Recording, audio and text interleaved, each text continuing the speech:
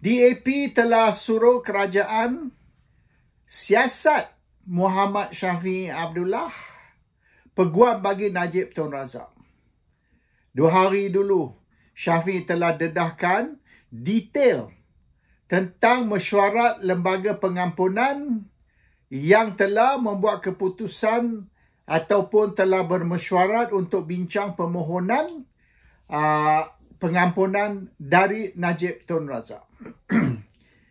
Ini satu jenayah kata DAP kerana mesyuarat lembaga pengampunan adalah rahsia dan dipelihara atau protected oleh uh, Official Secrets Act.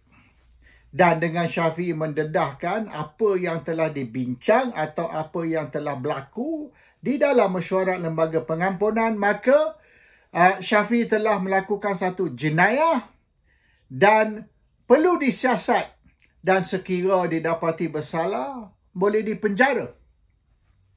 Ini telah berlaku beberapa kali dululah.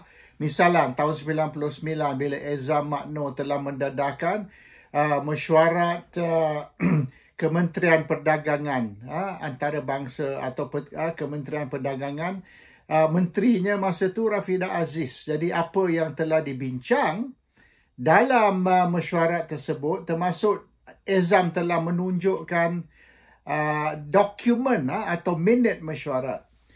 So kalau Syafi'i didapati bersalah dan memang Syafi'i telah dedah pun dan Syafi'i telah tunjuk surat sama macam Ezam. Ezam dulu juga tahun 99, Ezam telah tunjukkan surat kepada media.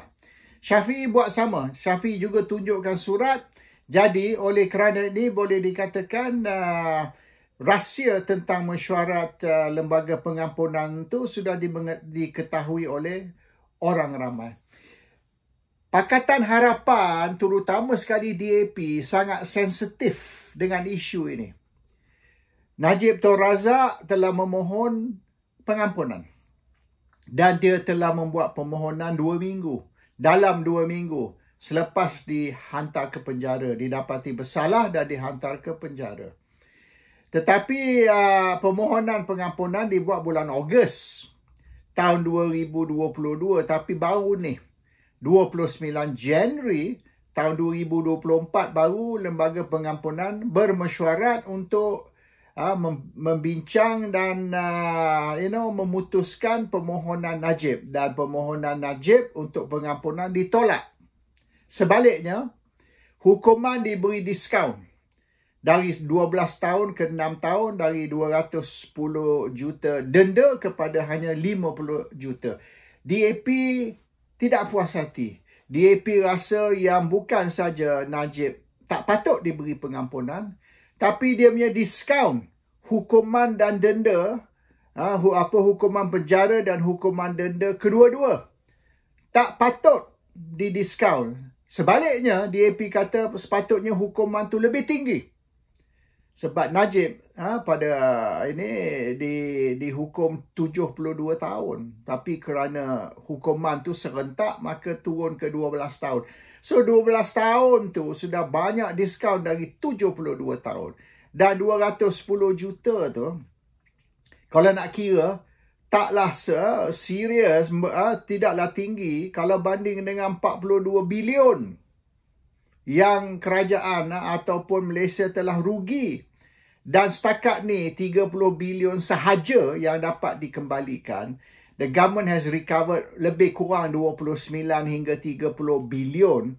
Itu pun dengan usaha peguam Rosli Dahlan. Rosli Dahlan dilantik peguam untuk kerajaan atau peguam untuk satu MDB dan usaha Rosli Dahlan tu dia dapat recover lebih kurang hampir 30 bilion uh, duit yang telah lesap tapi masih ada dalam 12 13 bilion yang masih tidak boleh dikesan, masih tidak boleh itu. So kalau nak kira 210 juta tu taklah tinggi dan turun ke 50 juta DAP memang mengamuk lah.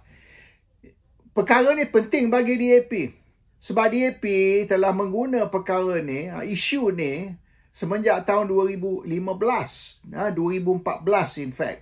So uh, sudah 10 tahun isu ni diguna untuk menjatuhkan kerajaan AMNO dan juga Perdana Menteri Najib. This is DAP's golden bullet.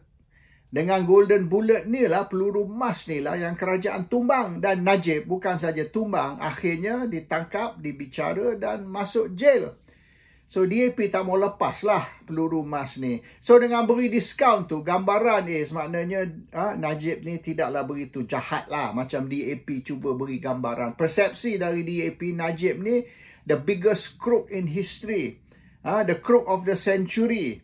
Tapi dengan sekarang ni uh, you know, hukuman dikurangkan dan kemungkinan Najib akan uh, ataupun memang confirm lah dia akan membuat permohonan untuk pengampunan sekali lagi sek- uh, kali kedua. Dan kemungkinan besar mengikut dia orang cerita lah kemungkinan besar sekali kali ni Najib akan diberi pengampunan penuh. So dalam setahun ha, mungkin setahun lebih sikit lagi Najib akan bebas. Dan apabila Najib diberi pengampunan penuh bermaknanya dia boleh kembali uh, terlibat dalam politik dan boleh kembali you know, ambil alih semula sebagai Presiden AMNO dan dia boleh bertanding pilihan raya uh, PRU 16 yang akan diadakan mungkin 3 tahun 3 tahun lebih dari sekarang. 3 years 3 and a half years maybe. So dalam 3 tahun lagi uh, Najib boleh bertanding pilihan raya. Sebelum tu dia kembali sebagai Presiden AMNO dan kalau dia menang pilihan raya uh, dan uh, maknanya gabungan dia atau parti dia menang kerusi terbanyak, dia boleh kembali sebagai Perdana Menteri. Mahathir pun balik sebagai Perdana Menteri kali kedua walaupun hanya 22 bulan banding dengan 22 22 apa 22 tahun kali pertama, kali kedua 22 bulan tapi he can still come back. Dan Mahathir pun banyak kontroversi. Dan hari ini SPRM sedang siasat Mahathir dan Daim kedua-dua. Dan bukan saja siasat dia nak charge bukan saja Mahathir dan Daim tapi keluarga mereka. Daim dengan bini dia sekali, anak dia sekali, Mahathir pun dengan anak dia sekali. So maknanya walaupun rekod macam tu Mahathir masih boleh kembali sebagai Perdana Menteri. So kalau Najib dapat pengampunan, dia kembali sebagai Presiden AMNO dan dia bertanding 3 tahun lagi lebih kurang dalam PRU 16. So itu yang DAP tidak puas hatilah sebab selagi Ahmad Zaid Hamidi uh, uh, memegang jawatan Presiden AMNO, AMNO lemah. Orang Melayu pun susah nak terima Zaid Hamidi. Tapi kalau Najib balik sebagai Presiden AMNO, uh, then uh, you know, orang Melayu akan sokong. Sekarang ni, hanya 30% saja orang Melayu sokong AMNO. 30%. Dulu sampai 60, 70%. Sekarang ni 70% orang Melayu sokong Perikatan Nasional. Dan dibukti baru-baru ni di dalam pilihan raya kecil Parlimen Kemaman di mana Perikatan atau PAS dapat 70% undi dan AMNO hanya dapat 30% undi. Dan ini merosot lagi mungkin ha, hingga ke 20%. So selagi Najib duduk dalam penjara, UMNO lemah. So this is very important for DAP lah. Dia orang takut sangat. Najib diberi pengampunan, Najib balik memimpin UMNO dan Najib bertanding pilihan raya PRU 16 dan Pakatan is going to be far weaker. Itu pun Pakatan menang 82 saja kerusi. Ha? Dan AMNO menang hanya 36. Kalau banding dengan misalnya PAS, PAS menang 43. Uh, dan uh, even DAP menang 30. So prestasi ya. Uh, 26 kerusi untuk AMNO atau 30 untuk uh, Barisan Nasional is very weak. Akan turun lebih lagi selagi Najib duduk dalam jail. So this issue very sensitive dan very important untuk DAP. They cannot afford for Najib dibebaskan melalui uh, pengampunan disaster untuk pakatan dan untuk DAP. So the issue is apa yang didedahkan oleh Syafiq Abdullah ialah Agong memang nak beri pengampunan kepada Najib. Agong was prepared dan dia orang beritahu ha, kalau ikut dia punya pendedahan Agong telah pun sedia surat. Agong dah sedia dah surat to grant Najib a pardon. uh, perkenan untuk beri pengampunan untuk Najib. Tapi semasa mesyuarat ada objection, ada bantahan. Dan dikatakan bantahan tu datang dari Menteri Wilayah. Menteri Wilayah ni baru dilantik. Dan dia orang kata Menteri Wilayah nak apa Menteri Wilayah baru ni dilantik khas supaya dia boleh hadir mesyuarat lembaga pengampunan kalau tidak ada menteri wilayah. Maknanya perdana menteri Anwar Ibrahim sendiri kena hadir uh, mesyuarat lembaga pengampunan kalau Anwar menghadiri mesyuarat lembaga pengampunan. Jadi problem lah. So sekarang ni menteri wilayah yang baru dilantik hadir uh, mesyuarat lembaga pengampunan dan dia dia objek uh, dia bantah dan dikatakan peguam negara juga so kedua-dua menteri wilayah dan peguam negara telah objek uh, telah bantah uh, apa pengampunan untuk Najib dan sebalik diberi hanya diskaun atas hukuman hukuman penjara dan juga hukuman denda So Agong it seems quite upset tau. Selepas mesyuarat tu, Agong terus balik pekan. Dan Agong titah. Jangan umum uh, keputusan atau berita tentang pengampunan hingga dia sudah tamat sebagai Agong. Only when he's no longer Agong, you nak umum, you umum. Sebab tu, Mesyuarat 29 tapi benda ni tidak diumum hingga Agong sudah tidak lagi Agong. Apabila Agong baru dilantik, baru diumum. Seorang kata sebab apa sampai 3-4 hari ni delay. Mesyuarat 29 Januari, Februari baru you umum. Sebab apa? Sebab Agong titah jangan umum hingga dia tidak lagi Agong. When I'm no longer Agong, you can umum. Sebab isim Agong was upset lah Agung murka. Sebab Agung bukan saja prepared, bersedia nak beri pengampunan untuk Najib. Surat pun dah siap. So akhirnya cancel, keluar surat baru. Tetapi Syafi'i dapat dapat detail ni. Syafi'i dapat juga salinan surat dan dia tunjuk ah surat. Dia kata tengok ni surat ni pelik. Ha, muka surat ni lain, muka surat ni lain. So macam surat tu ha, merge dua surat ha, di, di, di, dicantum jadikan satu surat. So benda ni uh, Syafi'i dedah masa press conference. So satu kesilapan besar, actually a very stupid mistake they made by revealing uh, what happened. Maknanya dua surat cantum jadi satu surat is something very funny. So kalau tengok dari situ, memang Agong nak beri pengampunan untuk Najib tapi disekat oleh Menteri Wilayah dan Peguam Negara. Question is, on their own initiative ke on arahan. Ah ha, ini yang jadi sensitif. Jadi AMNO pun ramai sudah upset dan ialah dari 191 ketua bahagian masa panggil mesyuarat 41 tak hadir. Dan dari 150 yang hadir tadi tu uh, lebih dari separuh was not happy and now they are beginning to talk lah walaupun hanya cakap saja tapi dia orang mula bercakap mungkin AMNO tak perlu duduk dalam kerajaan sebab the only reason ha, sebab utama AMNO duduk dalam kerajaan is kerana dijanji akan ampunkan Najib dalam seminggu. Ini dah lebih setahun.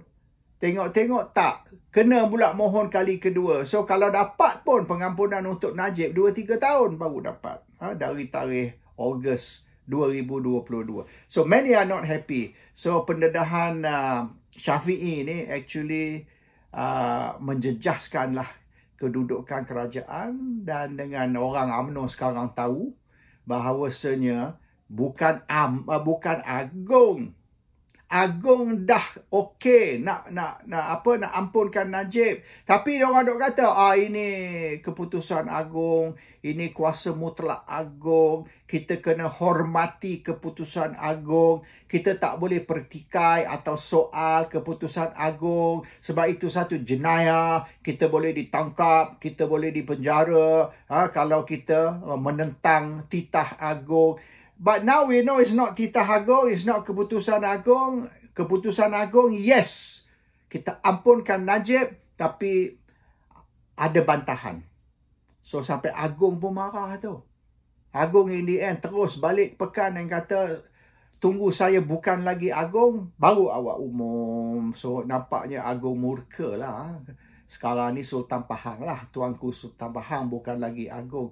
So, this uh, pendedahan Syafi'i ini sudah membawa satu senario baru. It's brought a new scenario to the whole issue of pengampunan Najib dan sebab apa Najib tidak diberi pengampunan dan kerana siapa ah Najib tidak diberi pengampunan. So a new uh, controversy, a new crisis has erupted.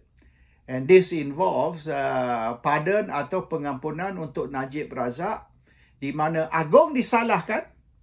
Ini keputusan Agong, ini titah Agong, ini kuasa mutlak Agong. Tetapi orang sekarang tahu is not Agong.